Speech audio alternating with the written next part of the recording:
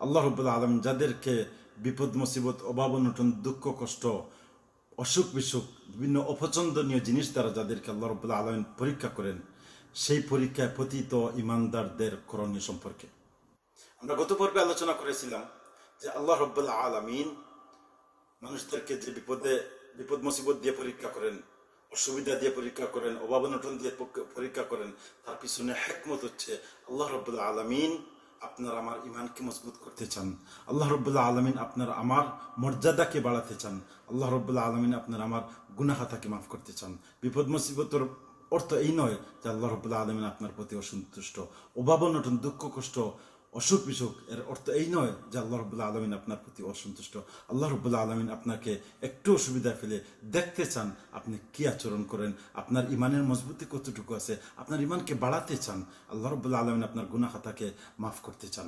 এই বিপদ, মুসিবত, অভাব, অনটনের মাধ্যমে যারা মর্যাদাকে আল্লাহর কাছে বাড়াতে চান এবং গুনা খাতা মাফ করাতে চান, তাদের জন্য প্রেসক্রিপশন হিসাবে আল্লাহ রবুল্লা আলমিন সুরতুল বাকর একশো তেপ্পান্ন নম্বর আয়তে বলেন, হে ইমানদারেরা ইস্তাইন বিশ্বরি ওসলা আল্লাহর সাহায্য চাও সবর এবং নামাজের মাধ্যমে।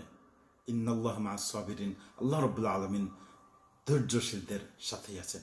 এই আয়ত আল্লাহ রবুল্লা আলমিনে প্রেসক্রিপশন দিচ্ছেন, যারা বিপদ, মুসিবত, অভাব নতুন দুঃখ, কষ্ট অসুখ বিসুখের মধ্যে আছেন। সাহায্য চাইবেন কার কাছে? আল্লাহর কাছে। আর সাহায্য কীভাবে চাবেন? ধৈর্য ধারণের মাধ্যমে এবং নামাজের মাধ্যমে।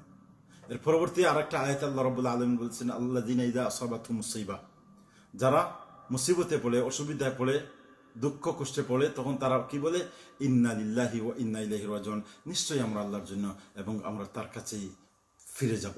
এটা হচ্ছে দোয়া।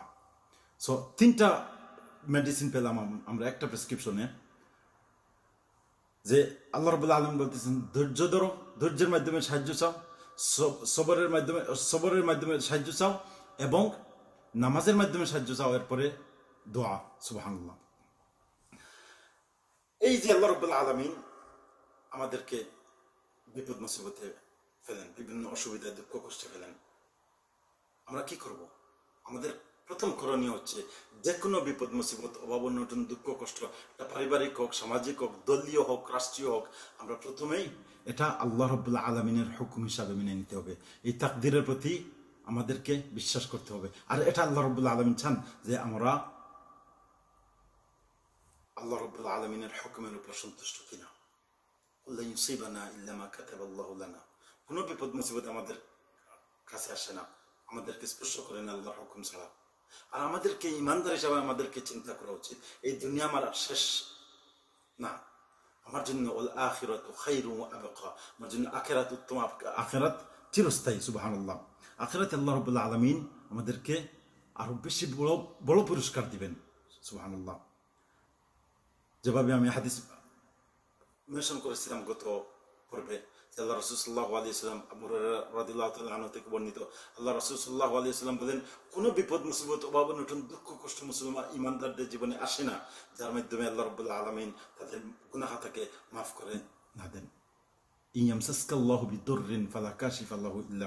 যদি আল্লাহর হুকুমে কোনো অকল্যাণ স্পর্শ করে, তাহলে সেটা আল্লাহ রাব্বুল আলামিন ছাড়া কেউ হটাতে পারবে না।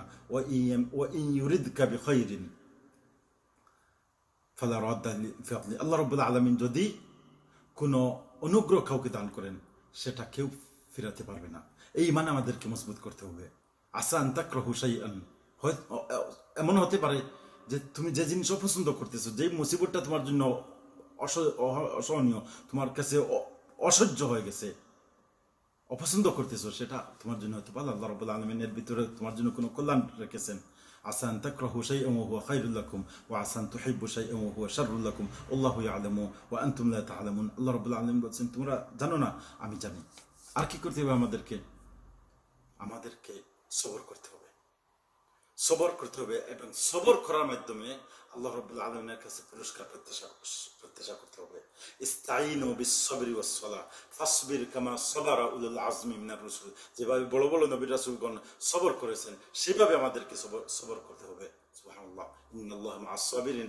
আল্লাহ রাব্বুল আলামিন সাথেই আছেন। এই দুঃখ, কষ্ট, বিপদ, আপদ, অভাব, অনটন, বালা, মুসিবত, অসুখ, বিসুখ, এটা চিরস্থায়ী নয়।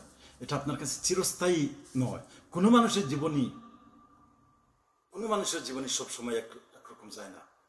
প্রত্যেক মানুষের ভালো মন্দ দুটাই দু- অবস্থায় প্রত্যেক মানুষের জীবনে থাকে। এই জন্য আপনি যে অবস্থায় আছেন, সেই অবস্থা চিরস্থায়ী নয়। সেই অবস্থার পরে আল্লাহ রবুল্লা আলমিন আপনার জন্য দরজা মুক্ত করে দিবেন, রহমতের দরজা মুক্ত করে দিবেন। সুবাহান আল্লাহ আল্লাহ রবুল্লা আলমিন আপনাকে আপনার দিন পরিবর্তন করবেন। এই প্রত্যাশা নিয়ে সবর আমাদেরকে সবর করতে হবে।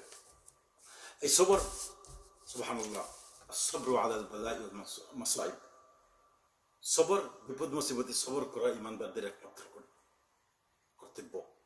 সবর ছাড়া আমাদের আর কোনো উপায় নেই। কোথাও যাওয়ার কোনো জায়গা নাই। আমাদের আর কি করার আছে? আপনি দুই রাকাত নামাজ পড়েন, বিপদে পড়ছেন, দুই রাকাত নামাজ পড়েন। আল্লাহর কাছে সুপর্দ করে দেন আপনার বিপদটা। আপনার অভাব, অনটন, আপনার দুঃখ, কষ্ট, আপনার অসুখ, বিসুখ, আপনার আল্লাহর কাছে সুপর্দ করে দেন। দেখবেন আল্লাহ রব্বুল আলমিন আপনার এটাকে কীভাবে ডিল করবেন। এরপরে কি? এরপরে আত্মসমালোচনা করেন। সবকিছুর পিছনে নিজের কিছুটা বা কন্ট্রিবিউশন থাকে। যে কোনো বিপদ, মুসিবত এর পিছনে হয়তো আমার কোনো বা আমার কোনো কমতি রয়েছে। এই জন্য আল্লাহ রব্বুল আলমিনের কাছে তৌবা ইস্তাফার করেন। আনিস্তাগফিরু তুমি তু তুবু ইলাইহি। আল্লাহর ক্ষমা প্রার্থনা করো। আল্লাহর দিকে ফিরে আসো। মাতাআন হাসানা। উত্তম জীবন দান করবেন। লা আজালি মুসাম্মা, একটি নির্দিষ্ট সময় পর্যন্ত ওয়ুতি কুল্লাজি ফাদলিন ফাদলা। আল্লাহ রাব্বুল আলামিন প্রত্যেকটা নিয়ামত তোমাদেরকে, সুবহানাল্লাহ কুল্লাজি ফাদলিন ফাদলা, অনেক নিয়ামত তোমাদেরকে দান করবেন। অনেক অনুগ্রহ দান করবেন। সব- তৌবা করো। তৌবা ইস্তেগফার করা, সুবহানাল্লাহ। তৌবা ইস্তেগফার করা আরেকটা উত্তম পন্থা হলো বিপদ মুসিবতে আল্লাহ সাহায্য চাওয়া তৌবা ইস্তেগফারের মাধ্যমে আলামিনের সাহায্য আলাইহি সাল্লাম এটা বলে একটা হাদিসে একটা হাদিসে উল্লেখ করেন যদি তৌবাকে তোমার জন্য বাধ্যতামূলক করে নাও তাহলে এমন কোনো বিপদ নাই যেটা তোমার বিপদ থেকে দূর হবে না আর এমন জায়গা থেকে আল্লাহ রব্বুল আলমিন রিজেকের ব্যবস্থা করবেন যে তুমি যে জায়গার কথা তুমি চিন্তাও করতে পারো নাই আর আমাদেরকে কি করতে হবে ইস্তেকামাত এবং তাকওয়া ইন্নাহু ইয়াত্তাকি ওয়া ইয়াসবির যে আল্লাহকে ভয় করে এবং সবর করে ইন্নাল্লাহ লা ইউদিউ আজরাল মুহসিনিন ইমানদারদের মুহসিনিনদের সৎকর্মশীলদের আমলকে আল্লাহ রাব্বুল আলামিন বিনষ্ট হতে দেবেন না সুবহানাল্লাহ যে কোনো বিপদ মুসিবত অসুবিধার সময় ইস্তেকামাত থাকতে হবে দিনের উপর সচল থাকতে হবে একটু অভাব অনটন দুঃখ কষ্টে বিপদ আপদ দুর্দিন যায় জন্য আপনি ইমান হারা হবেন না আপনি অসৎ পথ অবলম্বন করবেন না। আপনি হারাম কাজ করবেন না। হারামের সাথে ইনভলভ হবেন না।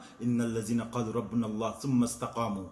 যারা আল্লাহকে রব বলে স্বীকার করার পরে যারা ইস্তেকামাত থাকে, যারা অবিচল থাকে, তাতানাজ্জালু আলাইহিমুল মালাইকা, তাদের প্রতি আল্লাহ রাব্বুল আলামিনের পক্ষ থেকে ফেরেশতা নাজিল হন।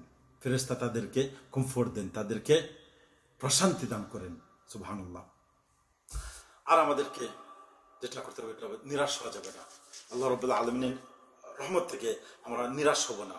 ওমান ইয়াকনাতু মির রাহমাতি রাব্বিহি ইল্লা দাল্লুন ইল্লা দাল্লুন তারা পথভ্রষ্টরাই আল্লাহ রব্বুল আলমিনের রহমত থেকে নিরাশ হয়। অনেক মানুষ আছে, বিপদ, মুসিবতে অভাব অনটনে পড়ে তাদের ইমান হারা হয়ে যায়। তারা আল্লাহ রহমত থেকে নিরাশ হয়ে যায়। মনে করে যে সারা শুধু বিপদ, মুসিবত, শুধু তো আমার জন্যই, আমার উপরে সারা বিপদ, মুসিবত। কেন এত বিপদ মুসিবত? আমি তো নামাজ পড়ি রোজা রাখি হজ করি জাকাত দেই দান সদকা করি। কেন আমার উপরে এত বিপদ মুসিবত?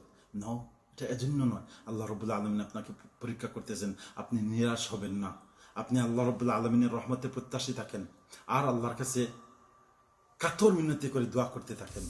দোয়া করাটা হচ্ছে আহ, নবী রাসুলদের সুন্নত। আদম আলি সাল্লাহাম দোয়া করেছেন। ইব্রাহিম আলাই সাল্লাহাম বিপদে পড়ে দোয়া করেছেন।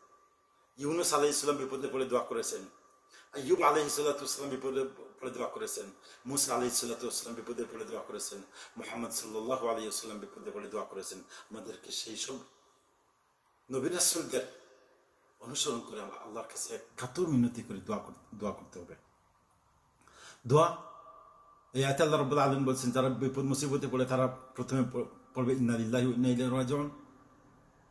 সুবহানাল্লাহ। লা ইলাহা ইল্লা আনতা সুবহানাকা ইন্নী কুনতু মিনাজ জালিমিন দোয়া ইউনূস আলাইহিস সালাতু ওয়াসসালাম দোয়া পড়েছিলেন মাছের পেটের ভিতরে আইয়ুব আলাইহিস সালাতু ওয়াসসালাম দোয়া করেছিলেন আন্নী মাসানিয়াদ দুররু ওয়া আনতা আরহামুর রাহিমিন সুবহানাল্লাহ ইব্রাহিম আলাইহিস সালাতু ওয়াসসালামকে যখন আগুনে ফেলা হলো তখন তিনি দোয়া করেছিলেন হাসবুন আল্লাহ নিয়ামাল ওকিল এভাবে দেখেন প্রত্যেক নবী রাসুল বিপদ মুসিবতে দোয়া করেছেন আল্লাহর কাছে দোয়া করেছেন তার আল্লাহর কাছে আমার আল্লাহর কাছে দোয়া করতে হবে বেশি বেশি করে কাতর মিনতি করে আল্লাহকে দোয়া করতে হবে আর নামাজের মাধ্যমে আল্লাহর সাহায্য চাইতে হবে রসুল্লাহ সাল্লাহ আলী সাল্লাম হাদি আবুদাই শরীফের হাদিস আসছে যে ইদা হাজাবাহু আমরুন সাল্লাহ যখন কোনো কঠিন সময় আসতো রসুল্লাহ সাল্লাহ আলী ইসলাম নামাজে দাঁড়িয়ে যেতেন।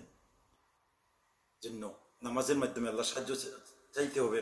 আর সর্বশেষ আমি আরেকটি দোয়ার ব্যাপারে আমি আরেকটি হাদিস বলে আপনাদের কাছ থেকে বিদ্যা নিব ইনশাআল্লাহ।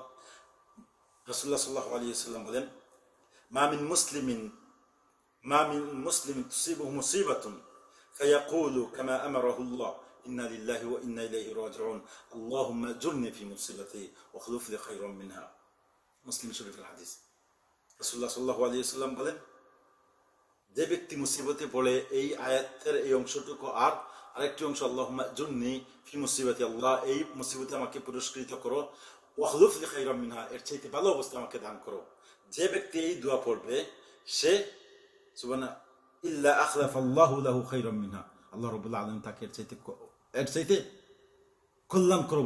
ভালো অবস্থা তাকে দান করবেন। সাহাবিয়া। স্বামী মারা গেছেন। কাছ থেকে এই এই হাদিসটা শুনে এই দোয়াটা তিনি পড়তেছেন। এই দোয়া পড়তেছেন আর মনে করতেছেন যে আমার স্বামী এত ভালো ছিল, এর চাইতে ভালো স্বামী আর কোথায় পাই? আর কে আছে? তিনি দোয়া করতেছেন আল্লাহ জুন্নি ফি মুসিবাতি ওখলুফ লি খাইরাম মিনহা। আল্লাহ এই- মুসিবতে আমাকে পুরস্কৃত করো। এর চাইতে ভালো অবস্থা তুমি আমাকে দান করো। সুবহানাল্লাহ। এই প্রত্যাশা নিয়ে তিনি দোয়া করতেছেন। একসময় আল্লাহ রসুল সাল্লাহ আলী নিজের প্রস্তাবে আল্লাহ রসুল সাল্লাহ সাথে তার বিবাহ হয়। সুবহানাল্লাহ। দুর্বল ইমানরা দুর্বল ইমানদাররা পরীক্ষার সময় তারা বিভ্রান্ত হয়ে যায়। এই জন্য আমাদেরকে চিন্তা করতে হবে। আমাদেরকে আল্লাহ রবুল্লাহ আলমিনের উপর তাওয়াক্কুল বাড়াতে হবে। আল্লাহ রবুল্লাহ আলমিনের রহমতে প্রত্যাশী হতে হবে। আমরা এমন হব না যে কোনো নিয়ামত পেলে আমরা ইনসান মনে করব যে আল্লাহ আমার প্রতি সন্তুষ্ট, আমাকে সম্মানিত করেছেন। আর যখন কোনো পরীক্ষা আল্লাহ রবুল্লাহ আলমিন একটু পরীক্ষা ফেলেন, একটু কষ্টে ফেলেন, একটু বিপদে ফেলেন ফাইয়াকুল রব্বি আহানান, তখন বললেন আল্লাহ বললেন আল্লাহ আমাকে লাঞ্ছিত করেছেন, অপমানিত করেছেন। এই অবস্থায় না সকল অবস্থায় আলহামদুলিল্লাহ আলা কুল্লি হাল। এটা হওয়া উচিত ইমানদার।